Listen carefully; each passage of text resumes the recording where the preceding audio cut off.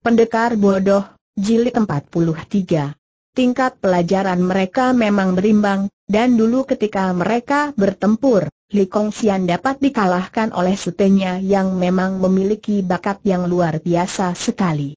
Sekarang, sungguh pun Li Kongxian telah melatih diri dengan keras hingga ilmu kepandaiannya sudah meningkat tinggi, akan tetapi di lain pihak Song Kun telah memiliki pedang Ang Ho Sian Kiam yang luar biasa sehingga Li Kong Sian tidak berani mengadu pedangnya karena takut kalau-kalau pedang pemberian Ang ini Lecu itu akan putus. Karena ini, untuk kedua kalinya dia terdesak hebat oleh serangan adik seperguruannya yang menyerang sambil tertawa mengejek, Walaupun diam-diam dia mengakui kelihayan suhengnya dan maklum bahwa biarpun suhengnya tidak berani beradu pedang, namun agaknya tidak akan mudah baginya untuk menjatuhkan suheng itu. Sementara itu, nelayan cengeng, Kue Ean, dan Mahoa menyaksikan pertandingan itu dengan penuh kekaguman. Tadi mereka sudah merasa terkejut, heran dan kagum sekali menyaksikan kepandaian Song Kun yang sanggup mendesak mereka, dan kini mereka melihat seorang pemuda lainnya yang seimbang kepandaiannya dengan pemuda pesolek yang lihai itu. Sesudah Chin Hai dan Bu Pun Su, belum pernah mereka menyaksikan ilmu kepandaian orang-orang muda selia itu. Melihat bahwa Li Kongxian datang dan membela mereka, maka mereka bertiga tentu saja tak mau tinggal diam dan dengan seruan keras, nelayan cengeng lalu mengerjakan dayungnya diikuti oleh Mahoa dan Kue. Kini Song Kun menjadi sibuk. Karena harus menghadapi keroyokan empat orang yang tingkat kepandaiannya sudah tinggi itu, tentu saja ia merasa kewalahan sekali. Setelah bertahan sampai puluhan jurus, terpaksa ia lalu melompat jauh dan berkata, Li Kongxian, lain kali bila mana kita bertemu berdua saja dan kau tidak mengandalkan keroyokan, tentu aku akan menebas batang lehermu kemudian kepada Mahoa dia menyeringai dan berkata, Sayang, bidadari rambut panjang, kita belum berjodoh. Keempat orang itu marah sekali, akan tetapi dengan sekali berkelebat saja Song Kun telah lari jauh dan meninggalkan tempat itu. Lihai sekali kata nelayan cengeng dengan kagum. Memang suteku itu lihai sekali dan jahat, kata Li Kongxian menarik napas panjang. Lon Hyong, melihat dayungmu yang hebat itu, apabila tidak salah dugaanku tentu kau adalah Kong Hwat Lo Jin si nelayan cengeng. Betulkah? Nelayan cengeng menjura, kemudian ia menjawab, benar, Tai Hiap. Dari mana kau tahu namaku? Li Kongxian tersenyum. Dan kalau tidak salah, Saudara yang gagah ini tentulah Kue Ean dan Nona ini Mahoa. Ketiga orang itu memandangnya dengan heran. Li Tai Hiap, dari mana kau bisa tahu tanya Kue Ean, sedangkan Mahoa tiba-tiba berkata sambil menuding kepada pedang yang dipegang oleh Li Kongxian. Eh haha, bukankah pedang itu pedang milik Angin Yochu? Kini Li Kongxian tersenyum dan mengangguk, memang ini pedang Kiang Im Giok, dan aku adalah tunangan Ang Inyochu. Kemudian Li Kongxian yang jujur itu lalu mengaku dan menceritakan pengalamannya betapa dia menolong Ang Inyochu dan akhirnya menjadi calon jodohnya. Li Kongxian suka sekali melihat sikap tiga orang yang telah lama dikenal dari penuturan Ang Inyochu itu dan yang dipuji oleh kekasihnya, maka dia kemudian mengaku terus terang mengenai pertunangannya itu dan demikianlah maka mereka tahu akan pertunangan Angin Yochu dengan Li Kongxian yang gagah perkasa. Kemudian mereka melanjutkan perjalanan dengan terpisah, karena Li Kongxian hendak mengejar dan menyusul sutenya untuk memenuhi syarat Angin Yochu, yaitu merobohkan sutenya yang ternyata bukan insyaf, bahkan semakin jahat itu. Setelah Mahoa menceritakan semua pengalamannya kepada Angin Yochu, tahulah nona baju merah itu bagaimana mereka dapat mengetahui hal pertunangannya hingga mereka tadi menggodanya. Terutama Mahoa menggodanya sehingga muka Angin Yochu menjadi semerah bajunya. Ia tidak dapat marah karena maklum bahwa Mahoa menggoda karena rasa girangnya. Mahoa, sudahlah jangan kau menggodaku lebih lanjut. Kalau menggoda terus, aku tak akan menceritakan kepadamu perihal Lin Lin. Mahoa memegang lengan tangan Ang Ini Ocu dan bertanya, Lin Lin? Apakah kau telah bertemu dengan dia, Cici yang baik? Bagaimana keadaannya? Selamatkah ia dan bagaimana dengan Chin Hai dihujani pertanyaan ini? Ang Ini Ocu tersenyum dan sengaja berlaku lambat-lambatan sehingga tidak saja Mahoa menjadi tidak sabar, bahkan Kue An dan nelayan Cengeng juga mendesaknya untuk segera menceritakan hal Lin Lin maka jangan suka menggoda orang, kata Ang Ini Ocu. Baik ya, aku akan menceritakan pengalamanku. Kemudian tiba giliran Ang Ini Ocu untuk menuturkan semua pengalamannya, betapa dia bertemu dengan Chin Hai dan mendapatkan sepasang pedang Leong Chuk Yam serta harta pusaka di dalam Goa Tung Wong dan pengalaman-pengalaman lainnya. Dan juga dia menceritakan betapa Lin Lin sudah dibawa oleh Bu Pun Su untuk diberi pelajaran silat sebagaimana yang ia dengar dari Chin Hai. Mendengar penuturan ini, bertitik air mata dari kedua mata Mahoa karena terharu dan girangnya. Sekarang harapannya sudah terkabul semua. Seluruh kawan-kawannya telah selamat dan terlepas dari bahaya. Begitu pula Kwe An dan nelayan cengeng. Mereka berempat itu sama sekali tidak tahu bahwa telah terjadi peristiwa hebat di Goa Tengkorak yang membuat Lin Lin terluka dan terancam jiwanya. Sekarang tugas kita cari mencari ini telah selesai karena orang-orang yang dicari telah ditemukan, kata nelayan cengeng. Akan tetapi kita harus melindungi Yosepu dari bahaya dan juga, oleh karena menurut penuturan Ang Iniochu tadi bahwa Chin Hai akan kembali ke sini dan Ang Iniochu sendiri ditugaskan menjaga goa tempat harta pusaka, kita semua lebih baik untuk sementara waktu tinggal di sini, menanti datangnya Chin Hai untuk kemudian bersama-sama kembali ke timur. Semua orang menyetujui usul ini dan sesudah Yusuf selesai mengurus semua kawan dan lawan yang terluka dan tewas, dia pun lalu datang dan mereka saling menceritakan pengalaman masing-masing. Nelayan cengeng bersama yang lain-lain mencoba sedapat mereka untuk menghibur hati Yusuf yang masih berduka karena kematian gurunya dan banyak kawan-kawannya. Sebenarnya, tentang kematian tak perlu ku sedihkan benar karena soal itu bukanlah soal yang aneh dan harus disesalkan. Yang sekarang membuat hatiku berduka ialah adanya perpecahan dan permusuhan di antara bangsa sendiri. Baiknya kalian membawa berita bahwa anakku Lin Lin telah diselamatkan dan bahkan kini memperdalam ilmu kepandaian di bawah pimpinan Bu Pun Su, kalau tidak, tentu aku akan semakin gelisah dan cemas saja. Demikianlah, mereka berempat lalu tinggal di kampung Yusuf dan kawan-kawannya itu sehingga pengikut pangeran muda tidak berani datang untuk bermain gila lagi. Hampir tiga atau empat kali dalam sehari angin Yochu menyelidiki keadaan goa itu, menjaga dan memeriksa kalau-kalau ada orang yang mengetahui tempat itu. Kadang-kadang ia pergi seorang diri, tapi tidak jarang ditemani oleh Mahoa, bahkan beberapa kali Kwe An dan nelayan Cengeng juga ikut. Sementara itu, Chin Hai dan Lin Lin masih terus melakukan perjalanan menuju ke barat, menyusul Bu Pun Su yang menjadi tawanan Wei Toan Yo beserta kawan-kawannya. Ternyata bahwa Balaki semenjak dikalahkan oleh Chin Hai, lalu melarikan diri dari Yagalikon dan kemudian ia bergabung dengan Hai Kong Ho Siang dan seorang pendeta Sakya Buddha. Ia maklum akan kelihayan Hai Kong Ho Siang maka ia lalu menceritakan tentang harta pusaka di daerah Kansu itu dan mengusulkan untuk pergi mencari bersama. Hai Kong Ho Siang yang cerdik itu telah mendapat tahu tentang riwayat Buk Pun Su ketika mudanya, maka mereka lalu mencari dan menjumpai Wiwi Toanyo yang sudah menjadi janda.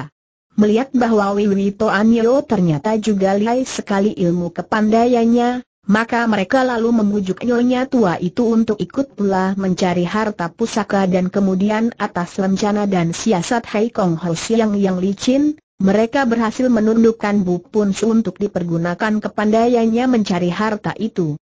Chin Hai tidak berani melakukan perjalanan terlalu cepat sehingga ia dan Lin Lin tidak bisa mengejar rombongan yang menawan Bu Pun Su. Maka beberapa hari kemudian, setelah mereka mendekati batas provinsi Kansu dan beristirahat dalam sebuah hutan menikmati hawa yang nyaman dan buah-buahan yang lezat, tiba-tiba dari jauh mendatangi seorang laki-laki dan ketika orang itu datang mendekat, Chin Hai merasa terkejut sekali hingga tak terasa lagi ia memegang tangan Lin Lin ia mengenal baik muka laki-laki yang datang itu, laki-laki muda pesolek yang tampan. Sengkun, katanya dengan dada berdebar karena dia maklum bahwa pertemuan ini tentu akan menjadi pertempuran hebat. Sementara itu, Sengkun sudah melihat mereka pula. Mula-mula wajahnya yang tampan melihat dengan terheran-heran karena dia sendiri tidak pernah menyangka akan bertemu dengan gadis yang membuatnya tergila-gila itu bersama Chin Hai, pemuda yang sangat dibencinya dan yang hendak dibunuhnya. Ia memandang ke kanan kiri, khawatir kalau-kalau Buk pun susupeknya itu berada pula di situ, akan tetapi ketika melihat bahwa tidak ada orang lain di situ, bibirnya tersenyum girang dan ia segera menghampiri. Hahaha. Pendekar bodoh, pendekar tolol dan goblok. Suteku yang baik budi, kekasih supek Bu Punsu. Agaknya kau berdua saja dengan bidadari yang telah lama kurindukan ini. Atau, membawa juga anjing penjagamu yang tua itu? Chin Hai dapat menduga bahwa yang dimaki anjing penjaga tua itu adalah Bu Pun Susunya, maka bukan kepalang marahnya hingga debar hatinya yang tadi agak khawatir itu lenyap, terganti dengar debar marah. Sengkun. Siapakah yang kau maki itu? Siapa lagi kalau bukan suhumu yang tua dan lebih goblok daripadamu itu? Kurang ajar. Kau kira aku takut kepadamu? Chin Hai, kau telah merasakan kelihayanku, apakah kau belum kapok? Dengarlah, bocah sombong. Aku mempunyai hati yang lemah dan suka menaruh kasihan pada anak-anak kecil. Aku masih ingat bahwa kau adalah suteku sendiri, karena itu aku akan memberi ampun padamu. Pergilah kau dengan aman, dan tinggalkan kekasih hatiku ini. Aku akan menjaganya dan mencintanya dengan baik, lebih baik daripada kalau kau menjaganya. Kelak bila mana kau ingin menikah, katakan saja kepada sehengmu ini gadis mana yang kau sukai, Tentu aku membantumu sehingga kau berhasil mendapatkannya Ucapan ini dikeluarkan dengan muka sungguh-sungguh sehingga Chin Hai hanya dapat memandang dengan melongo dan tak dapat mengeluarkan kata-kata. Akan tetapi, sementara itu Lin Lin sudah tidak dapat menahan marahnya lagi. Gadis ini mukanya sampai menjadi pucat karena marahnya hingga dia memandang kepada Song Kun seakan-akan ia hendak meremukan kepala pemuda pesolek itu dengan pandangan matanya kalau mungkin. Bangsa terendah, keparat jahanam.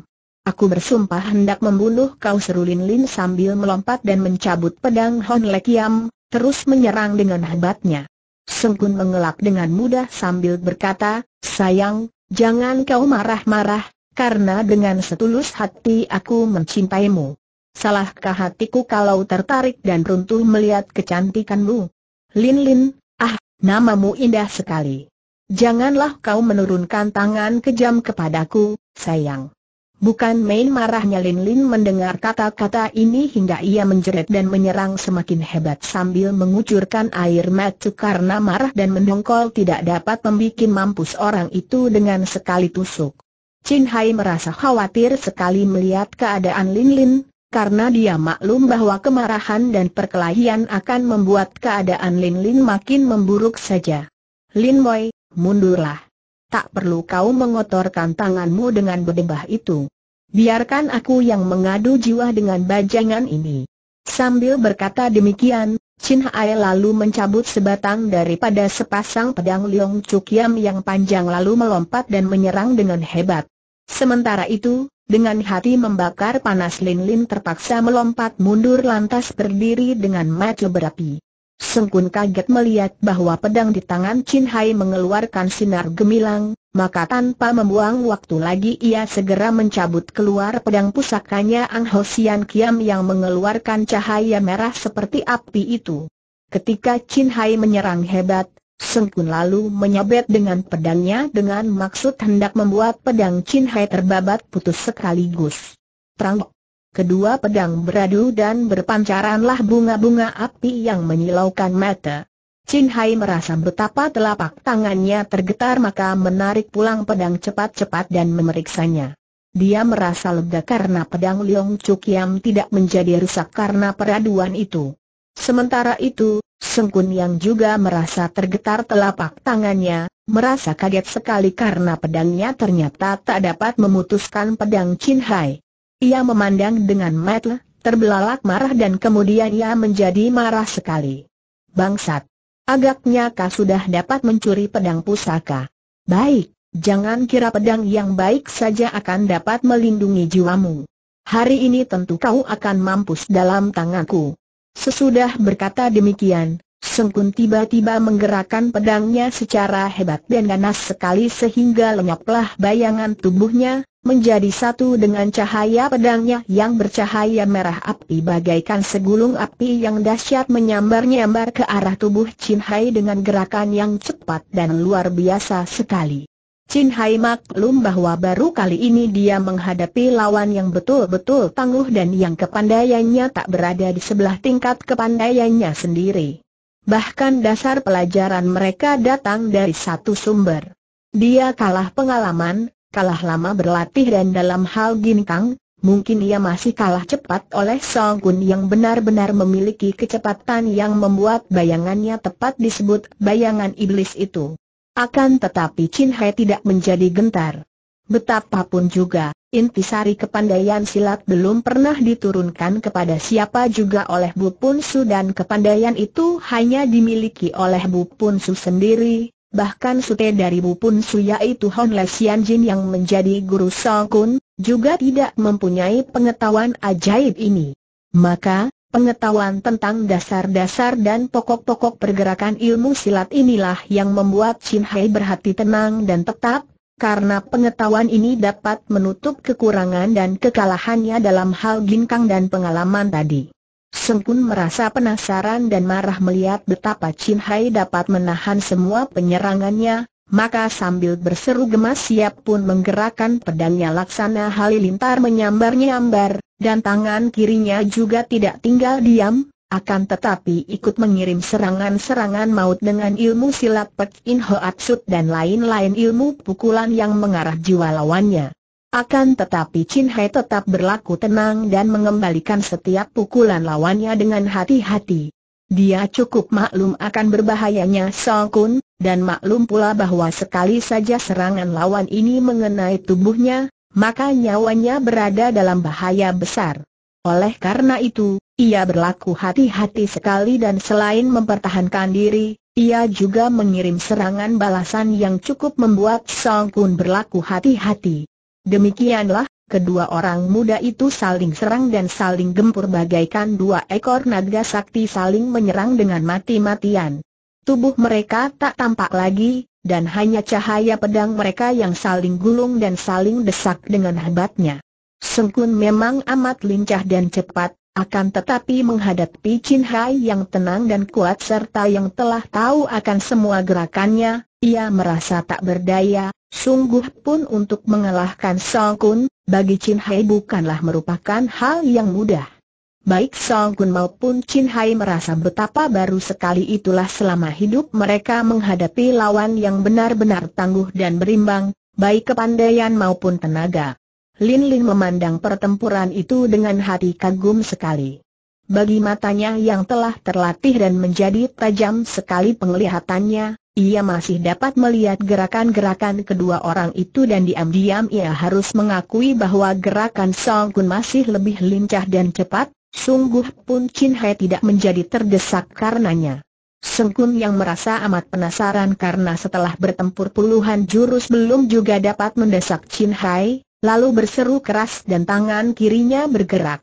Sebuah cahaya merah meluncur dari tangannya itu dan Chin Hai melihat betapa sehelai sabuk merah bergerak bagaikan hidup menyambar ke arah lehernya.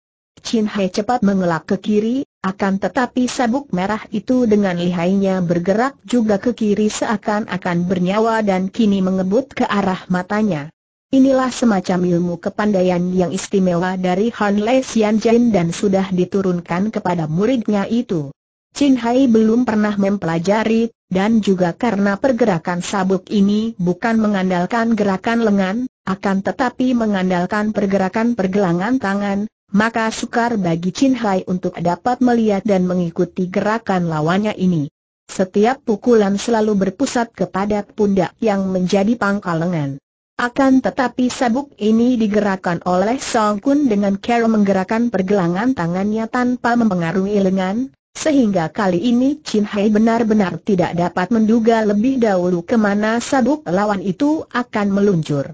Seng Kun maklum pula bahwa Chin Hai tentu sudah mewarisi ilmu kepandaian Bu Pun Su yang sakti, yakni ilmu kepandaian mengenal serta mengetahui segala pokok-pokok dan dasar pergerakan ilmu pukulan, karena itu dia sengaja mengeluarkan sabuknya itu untuk mencapai kemenangan.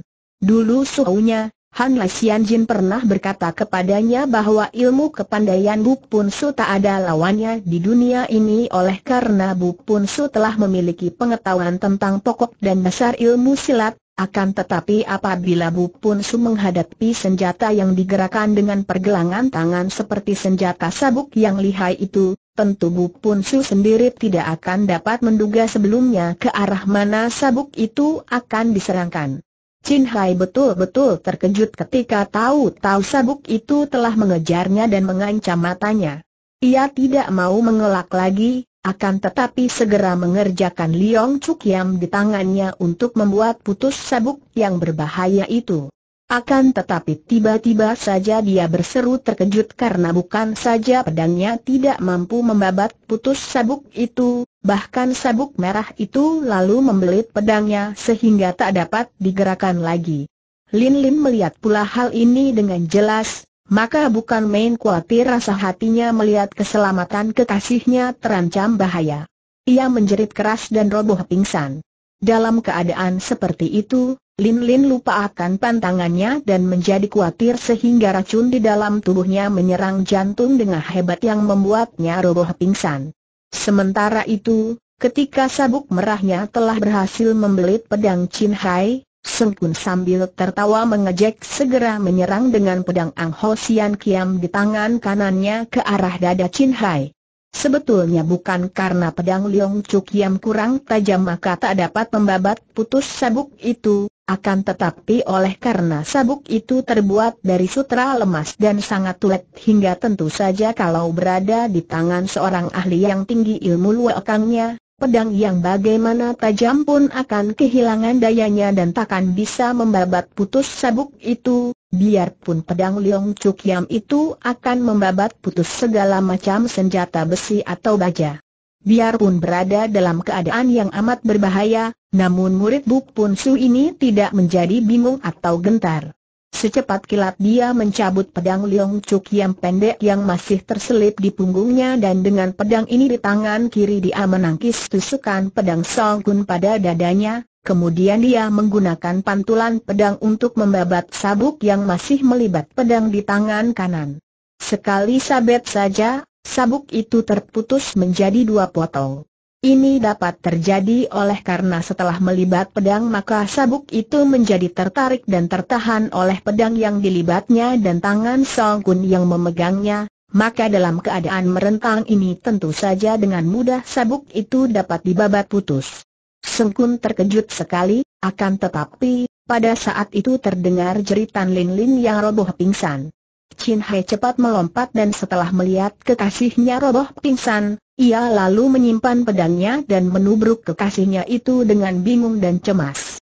Lin Lin. Lin Moi, ah, mengapa kau berkhawatir? Melihat betapa Chin Hai dengan wajah pucat memeluk Lin Lin dan melihat pula muka gadis itu yang menjadi pucat bagaikan mayat, Seng Kun merasa heran dan juga kaget. Ia tadi merasa terkejut sekali melihat betapa dalam keadaan sesulit itu Chin Hai masih dapat menyelamatkan diri bahkan berhasil pula membabat putus pedangnya, maka diam-diam ia merasa amat kagum dan juga sedikit jari. Kini melihat Lin Lin roboh pingsan bagaikan telah mati, ia merasa kasihan dan berkhawatir. Memang di dalam hatinya, ia amat mencinta gadis itu. Dia kenapakah tanyanya terheran. Tanpa menengok, Chin Hai lalu menjawab, dia telah terkena racun jahat dari Hai Kong Siang, dan dalam seratus hari dia akan mati. Apa tanda seru? Dia tidak boleh mati. Apakah tidak ada obatnya? Tanya Song Kun dengan hati berdebar cemas. Chin Hai mengangguk. Hanya ada satu macam obat dan obat itu berada di tangan Hai Kong Ho Siang. Untuk itulah maka kami berdua menuju ke barat. Racun apakah itu? Racun ular hijau yang jahat dari yang hanya terdapat di daerah Mongol, maka obatnya pun harus dari sana. Tidak, dia tidak boleh mati. Dia harus menjadi istriku, karenanya dia tidak boleh mati. Chin Hai, biar aku titipkan dulu dia kepadamu dan karena itulah maka kau tidak kubunuh sekarang dan kuberi ampun. Aku hendak mencari obat untuknya dan setelah dapat, aku akan datang menjemput calon istriku ini. Sengkun lalu menyimpan pedangnya dan melompat pergi lalu lari cepat sekali. Chin Hai tidak mempedulikannya, bahkan menengoknya pun tidak oleh karena dia merasa gelisah sekali melihat betapa wajah Lin Lin menjadi agak kebiru-biruan. Akan tetapi ternyata bahwa serangan racun itu hanya berlangsung sebentar saja dan tak lama kemudian Lin Lin telah siuman kembali. Cahaya merah kembali ke mukanya dan ia membuka matanya. Ketika dia melihat bahwa dia berada dalam pelukan Chin Hai, dia lalu merangkul leher pemuda itu dan terisak menangis. Lin Boy, mengapa kau melanggar pantanganmu? Haiko, aku tidak ingat akan hal itu, Tadi aku terlalu khawatir melihat kau terancam bahaya sehingga aku terlupa bahwa aku tidak boleh berkhawatir. Chin Hai tersenyum. Jangan khawatir, Moi Moi. Walaupun harus kuakui bahwa Song Kun memang liai, akan tetapi aku takkan kalah terhadapnya. Lihat sajalah kalau lain kali dia berani mengganggu kita lagi, akan kuhabiskan nyawanya. Dia di mana, Koko? Chin Hai hendak menceritakan apa yang telah terjadi, akan tetapi ia takut kalau-kalau Lin Lin akan merasa berkhawatir mendengar betapa pemuda pesolek itu hendak mencari obat baginya dan hendak kembali menjemputnya kelak. Maka dia lalu menjawab, setelah aku berhasil membabat putus sabuk merahnya, agaknya dia menjadi jeri dan lalu melarikan diri. Lin Lin menarik napas lega dan mereka lalu melanjutkan perjalanan mereka menuju ke barat dengan perlahan dan tidak tergesa-gesa. Pada suatu hari, seperti biasa, Ang Iniochu berjalan-jalan di depan goa-goa Tung Wang untuk memeriksa keadaan goa tempat harta pusaka itu tersembunyi, dan sekali ini dia dikawani oleh Mahoa. Tiba-tiba dia merasa terkejut sekali ketika melihat beberapa orang Mongol berkerumun di depan goa itu. Dia pun berseru. Mahoa, celaka, agaknya mereka telah menemukan tempat itu. Maka berlari-larilah angin Yochu dan Mahoa ke tempat itu dan ketika mereka tiba di situ, ternyata bahwa orang-orang itu dipimpin oleh Tai Kek Losu, Sian Kek Losu, Bolang Hwasio, dan lain-lain perwira Mongol. Melihat pihak lawan yang berat dan cukup banyak ini, Ang Iniochu tidak ingin berlaku sembrono, karena ia menduga bahwa biarpun goa itu telah mereka temukan, akan tetapi belum tentu mereka dapat mencari tahu tentang rahasia untuk membuka lubang tempat penyimpanan harta pusaka. Ia lalu menarik tangan Mahoa dan diajaknya bersembunyi di balik sebuah gunung karang yang kecil dan mengintai dari situ. Tidak lama kemudian, dari jurusan lain datanglah serombongan orang yang bukan lain adalah rombongan perwira kerajaan yang dipimpin oleh Kam Hang Sin. Selain panglima yang lihai ini, tampak juga Cheng Tek Ho Siang, Cheng Tu Tosu dan banyak perwira-perwira tinggi lainnya yang jumlahnya tidak kurang dari 20 orang. Pihak Mongol yang melihat kedatangan para perwira kerajaan itu, segera maju menyerbu sehingga terjadilah pertempuran hebat di depan gua rahasia itu. Ang Iniochu dan Mahoa memandang dengan penuh kekhawatiran sebab dengan adanya dua pihak yang sama-sama menghendaki harta pusaka itu, maka keadaan lawan makin bertambah berat saja. Biar, bisik Ang Iniochu sambil menggenggam tangan Mahoa, biarkan mereka saling gempur hingga binasa seluruhnya. Pertempuran berjalan ramai sekali, karena kedua pihak sama kuat. Kam Hang Sin yang tangguh itu mendapat lawan berat, yaitu Tai Kek Losu, sedangkan Cheng Tu Tosu harus melawan Sian Kek Losu, dan Cheng Tek Hwasyo melawan Bolang Hwasyo. Sesungguhnya, di antara ketiga pasangan ini, pihak Mongol lebih kuat, akan tetapi oleh karena pada pihak tentara kerajaan masih terdapat beberapa orang perwira yang memiliki ilmu kepandaian tinggi dan mengeroyoknya, maka keadaan mereka menjadi seimbang. Pada saat Ang Inyochu dan Mahoa sedang menonton dengan hati tegang, tiba-tiba saja datang rombongan lain dan ketika mereka memandang, mereka menjadi gembira sekali, karena di dalam rombongan orang itu terdapat Bu Pun Su. Akan tetapi, kegembiraan mereka segera berubah menjadi keheranan dan kekhawatiran karena ternyata bahwa yang datang bersama Bu Pun Su adalah seorang nenek yang bertelanjang kaki, seorang pendeta Mongol, seorang perwira Mongol, dan juga Hai Kong Ho Siang. Melihat Hai Kong Ho Siang yang jahat dan yang sangat mereka benci ini berjalan bersama Bu Pun Su, sungguh membuat kedua orang gadis itu berdiri bengong saking herannya. Melihat pertempuran hebat itu, Bu pun selalu menghampiri mereka dan berseru keras, tahan pertempuran ini. Suaranya amat nyaring dan berpengaruh hingga angin Yochu dan Mahoa sendiri yang berdiri di tempat agak jauh juga terkena getaran suara dan terpengaruh oleh gema suara itu. Apalagi mereka yang sedang bertempur, mendengar suara ini mereka tak terasa lagi segera melompat mundur sambil menahan senjata masing-masing. Mereka memandang kepada kakek itu dengan terheran-heran. Tai Kek Losu beserta kawan-kawannya yang melihat Balaki datang bersama kakek itu menjadi terkejut, akan tetapi sebelum mereka bertanya, Bu Pun Su telah mendahuluinya dengan ucapan yang halus. Kalian ini bertempur bukankah memperebutkan harta pusaka yang tersimpan di dalam goa ini? Bodoh amat. Untuk apa bertempur mengadu jiwa hanya untuk setumpuk harta yang tidak berharga dan yang hanya mendatangkan kekacauan belaka? Biarpun sikap Bu Pun Su lemah lembut dan kelihatannya seperti seorang lemah, namun menyaksikan pengaruh yang keluar dari bentakannya tadi, baik pihak Mongol maupun pihak perwira kerajaan dapat menduga bahwa kakek ini tentulah seorang berilmu tinggi. Kami yang lebih dahulu mendapatkan tempat ini, akan tetapi perwira-perwira kerajaan hendak merampasnya dari kami kata Tai Kek Losu sebagai pembelaan diri. Tempat ini termasuk wilayah kerajaan, tidak boleh orang lain memiliki harta pusaka itu selain Kaisar kata Kam Hang Sin dengan suara garang. Bu Punsu tersenyum kemudian menjawab, semua salah.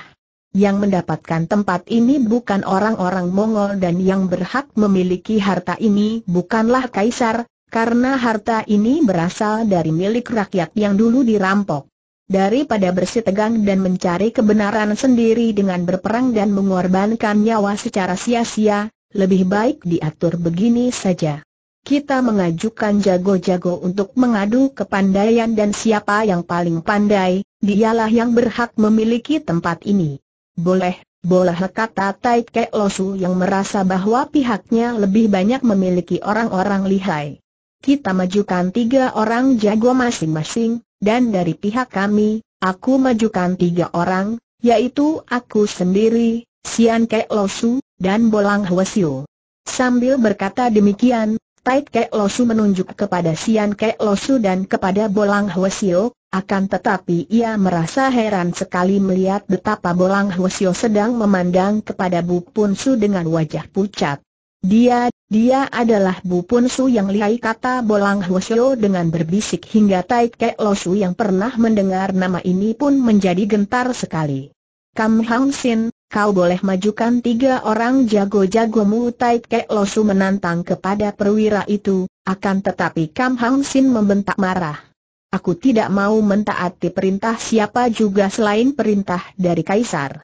Betapapun juga, tak boleh orang-orang menggunakan aturan sendiri seakan-akan di negara ini tidak ada pemerintah. Tiba-tiba terdengar suara ketawa bergelak dan Hai Kong Hos yang maju ke depan. Tidak menurut pun tak apa. Pendeknya masing-masing pihak harus mengajukan paling banyak tiga orang jagonya. Pihakku hanya cukup mengajukan seorang jago saja. Hahaha. Yang tidak merasa gembira untuk ikut dalam pertandingan ini boleh cepat mundur dan jangan mengganggu orang lain. Dengan tangannya Tai Kek Losu memberi isyarat kepada Balaki dan memanggil perwira Mongol itu agar datang mendekat. Akan tetapi Balaki hanya tertawa mengejek saja tanpa mempedulikannya. Balaki, kau tidak menurut perintahku teriak Tai Kek Losu dengan marah dan heran. Balaki tertawa. Siapa yang sudi menurut perintahmu? Aku tidak mempunyai hubungan apa-apa lagi denganmu. Tai Kek Losu dan kawan-kawannya tercengang mendengar ini. Balaki, kau hendak menjadi pemberontak? Tutup mulutmu bentak Hai Kong Ho Siang dengan marah. Pada saat itu, kembali muncul serombongan orang dan ternyata yang kini muncul adalah rombongan orang-orang Turki pengikut pangeran muda dengan dipimpin oleh Shokwat Moli, Lokun Tojin dan ketiga saudara Kang Lam Sem Lojin, diikuti pula oleh beberapa orang perwira lain. Ternyata bahwa Shokwat Moli beserta kawan-kawannya masih merasa penasaran dan melanjutkan usaha mereka mencari harta pusaka itu dengan mengerahkan orang-orang Turki dan membohongi mereka dengan janji bahwa setelah harta pusaka bisa diperoleh, harta pusaka itu akan diberikan kepada mereka dan dibagi-bagi. Padahal dalam hatinya, Siok Kuat Moli dan juga kawan-kawannya itu sama sekali tidak mempunyai niat untuk membagi harta pusaka itu kepada orang-orang Turki. Melihat kedatangan mereka, Hai Kong Hos yang berkata sambil tertawa. Nah, sekarang lebih ramai lagi. Siok Kuat Moli, kau datang bersama orang-orang Turki ini hendak melakukan apakah? Suheng, aku bersama Lokun Tojin, juga kawan Wai Saupu tadinya sengaja datang memenuhi undanganmu hendak membantu, akan tetapi karena kami tidak dapat bertemu dengan kau, maka terpaksa kami mengambil jalan kami sendiri, dan dalam usaha kami itu ternyata bahwa kawan Wai Saupu telah terbinasa dalam tangan pengikut pangeran tua dari Turki dan kawan-kawannya. Dan sekarang, kau membawa orang-orang Turki ini dengan maksud apakah? Apa kalian juga hendak mencari harta pusaka itu? Kalau memang demikian kehendakmu, lebih baik kau pulang saja dan bawa kawan-kawanmu itu pergi dari sini, karena harta itu adalah bagianku dan kawan-kawanku, dan kau tidak boleh mengganggu. Mendengar ucapan suhengnya itu, Siok Kuat Moli merasa penasaran sekali sebab dulu suhengnya minta pertolongan dan bantuannya untuk menghadapi lawan-lawannya dan juga untuk mencari harta pusaka itu dengan janji hendak dibagi-bagi, akan tetapi tidak taunya sekarang suhengnya itu telah memilih kawan-kawan lain. Akan tetapi, oleh karena maklum akan kelihayan Hai Kong Hosiang, ia diam saja dan tidak berani membantah. Hanya Lokun Tojin yang merasa penasaran dan tentu saja ia tidak mau menerima dengan demikian saja. Ia segera melompat maju menghadapi Hai Kong Ho Siang dan membentak keras. Hai Kong, mengingat akan persahabatan di kalangan Kang Ou aku sudah turut turun gunung dengan sumoimu ini karena hendak membantumu untuk sama-sama mencari pusaka berharga. Akan tetapi sekarang kedatangan kami ini tidak kau hargai, bahkan kau hendak mengusir kami. Kau anggap kami ini orang macam apakah? Apakah tanpa kau kami tak dapat mencari sendiri dengan menggunakan kepandaian kami? Hahaha. No Tojin, jangan kau menyombong di hadapanku. Apabila kau hendak mencari harta pusaka itu, siapakah yang sudi melarangmu? Bahkan kuanjurkan supaya kalian turut pula dalam pertandingan memperebutkan harta itu. Lihatlah, Kini semua telah berkumpul dan kita semua telah bermufakat untuk mengajukan masing-masing tiga orang jago. Pihak Mongol telah mengajukan jago-jago mereka, yaitu Tai Kek Losu, Sian Kek Losu, dan Bolang Hwasyo.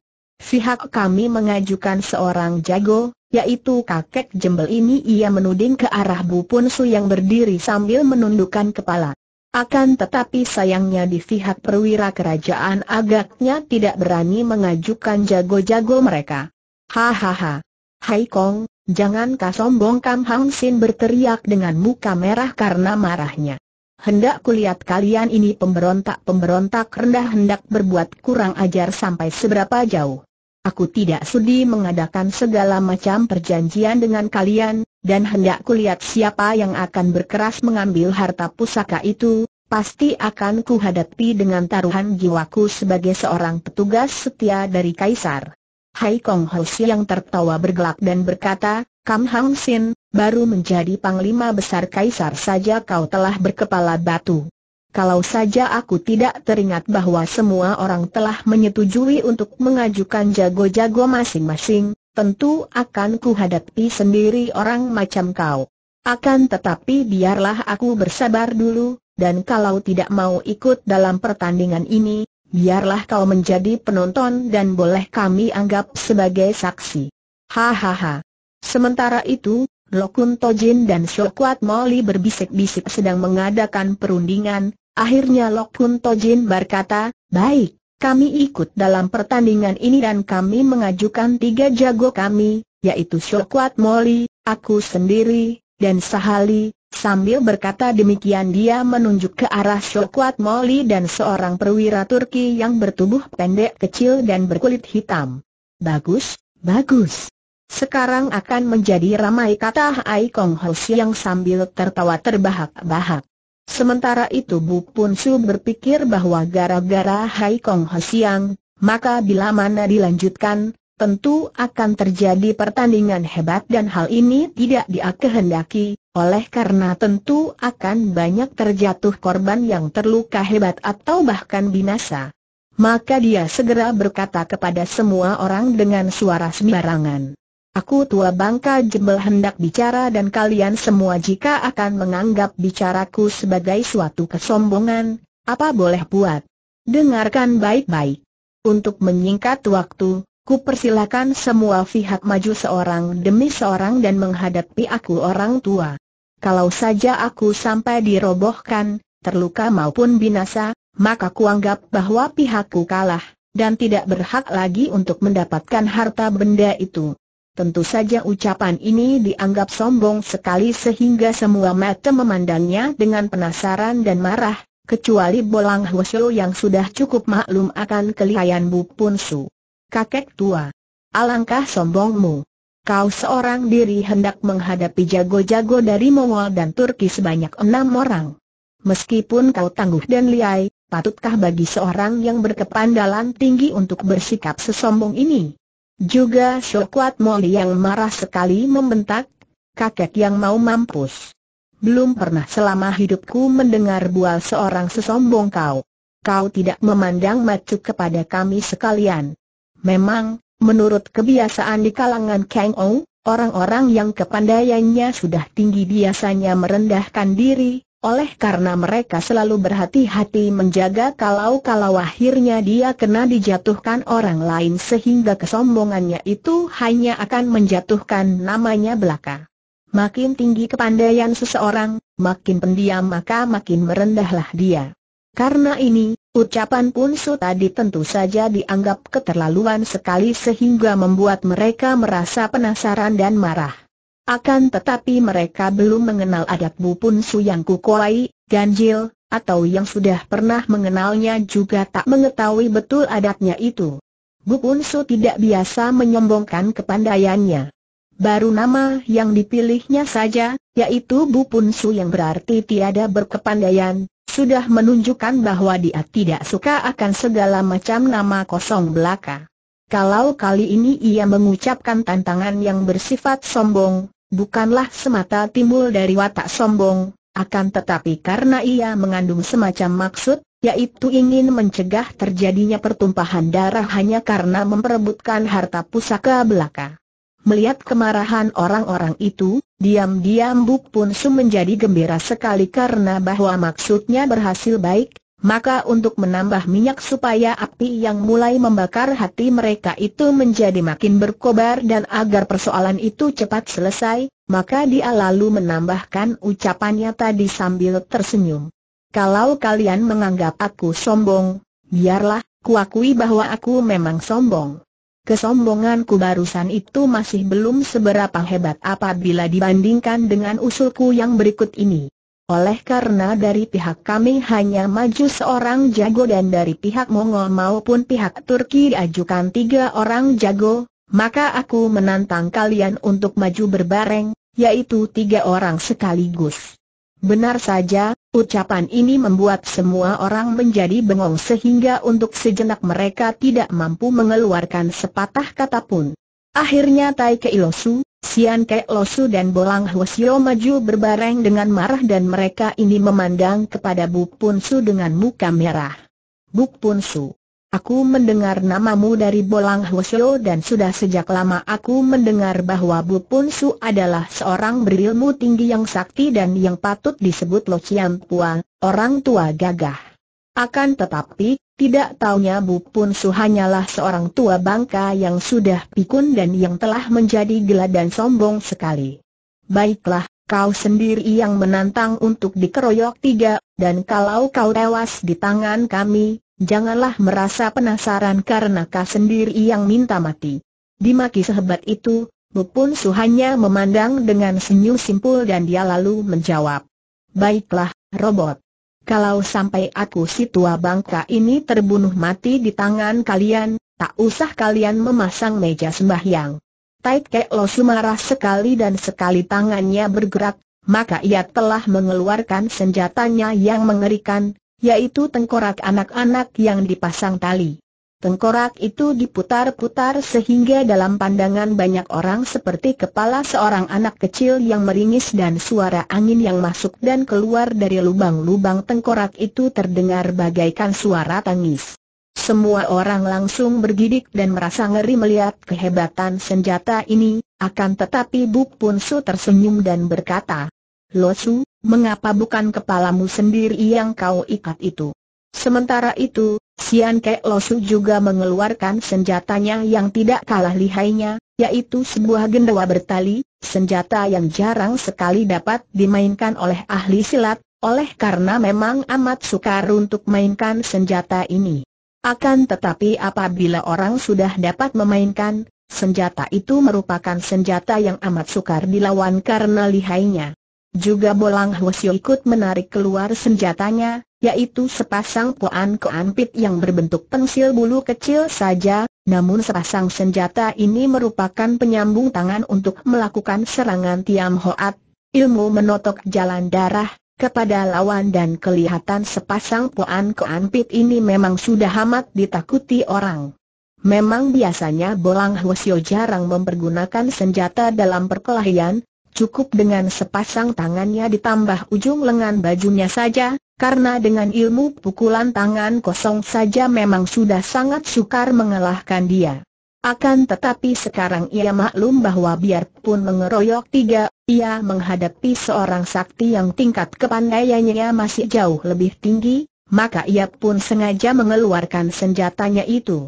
Sudah siap tanya Bu Pun Su dengan tenang. Nah, mari kita mulai. Keluarkan senjatamu bentak Tai Kek Losu yang sebagai orang berilmu tinggi merasa segan untuk menyerang seorang yang bertangan kosong. Eh, Tai Kek Losu, bukalah matamu baik-baik. Bukankah aku sudah siap dengan empat buah senjataku ini sambil berkata demikian dia menggerak-gerakan kedua tangan dan dua kakinya. Tian telah memberi senjata-senjata yang tiada bandingannya di dunia ini kepada kita, akan tetapi kalian masih saja menanyakan senjata, bukankah itu kurang berterima kasih kepada Tian namanya? Bukan main mendongkolnya hati Tai Kek Losum mendengar ini. Ia anggap kakek jembel ini menghina sekali. Kau mencari mampus sendiri teriaknya dan tengkorak kecil di tangannya itu tiba-tiba menyambar ke arah muka Bu Pun Su dengan cepatnya. Akan tetapi baru saja tengkorak itu bergerak, tubuh Bu Pun Su sudah menyingkir terlebih dulu sehingga serangannya mengenai angin saja. Sian Kek Losu dan Bolang Hwasyo juga maju menyerbu dan sebentar saja Bu Pun Su dihujani serangan-serangan kilat yang amat berbahaya dari tiga orang ahli dan tokoh besar itu.